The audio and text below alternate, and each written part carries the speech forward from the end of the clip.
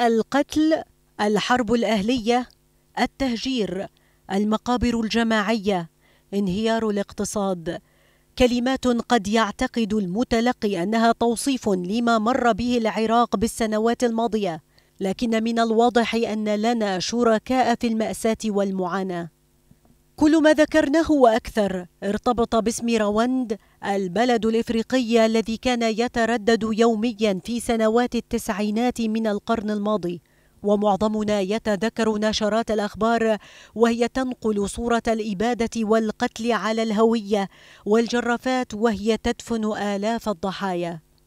حرب أهلية كان الهوتو والتوتسي أبرز علامتين في أحداثها وهما الجهتان المتصارعتان في حرب الإبادة العرقية في بلد قتل فيه مليون شخص بين عامي 93 و 95 وهو ما يمثل عشرة بالمئة من عدد السكان.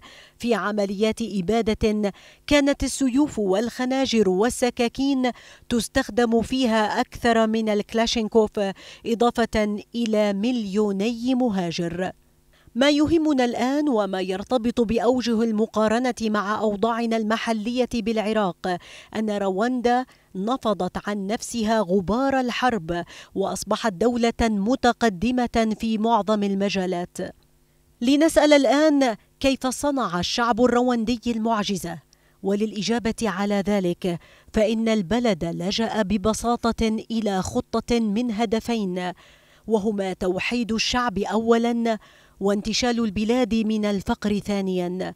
ولتحقيق ذلك تمت مصالحة مجتمعية وكتابة دستور جديد وحظر استخدام كلمتي التوتسي والهوتو وتجريم أي خطاب عرقي وعودة المهجرين بالداخل والخارج وتشكيل محاكم لإزالة الظلم وإعادة الحقوق. نطرح هنا أرقاما لتبيان حجم التطور الهائل في رواندا.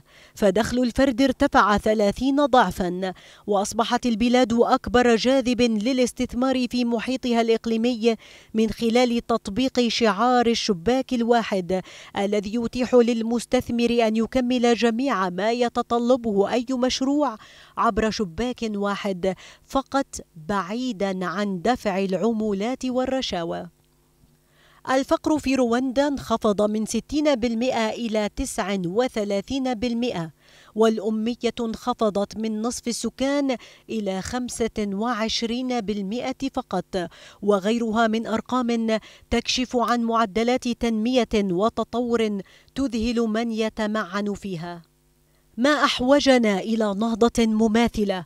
فهل نعجز كبلد يحمل إرث حضارة تمتد إلى سبعة آلاف سنة؟ إلى أن ننجز ما حققه بلد إفريقي بسيط الإمكانيات. حكاية رواندا لخصها أحد خبرائها الاقتصاديين بالقول لإنشاء دولة ناجحة لا تحتاج لإعادة اختراع العجلة بل يكفي أن تستفيد من تجارب الآخرين.